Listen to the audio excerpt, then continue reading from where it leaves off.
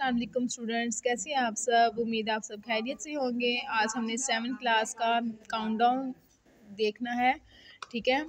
Day three है हमारे पास। Day three में हमारे पास डेट क्या है? डेट है हमारे पास फिफ्टीन जून और डे हमारे पास क्या है? वेटनेसडे यहाँ पर आपने डे और डेट को मेंशन लाजमी करना है। अंडरस्टैंड तो आपने देखना है डे थ्री में हम, उन्होंने हमसे क्या पूछा हुआ है? तो डे थ्री में क्या है? Find the solution of the sum ठीक है, आपने इनके सोल्यूशंस बताने हैं, ठीक है।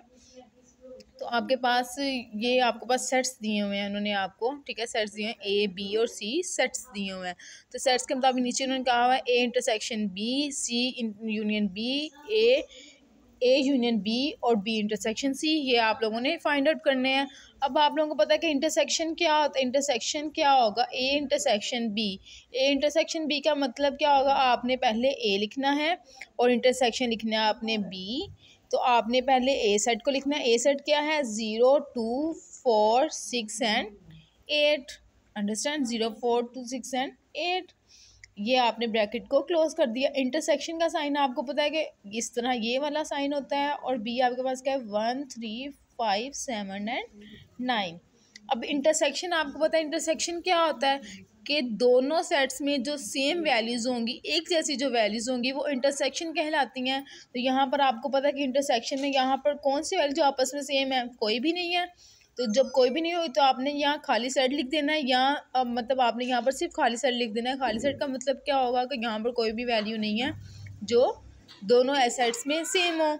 उसके बाद आपको एक क्वेश्चन मैं यूनियन का करके बता देती हूँ कि सी यूनियन बी तो सी यूनियन बी में क्या करना है? पहले आपने सी वाला लिखना है।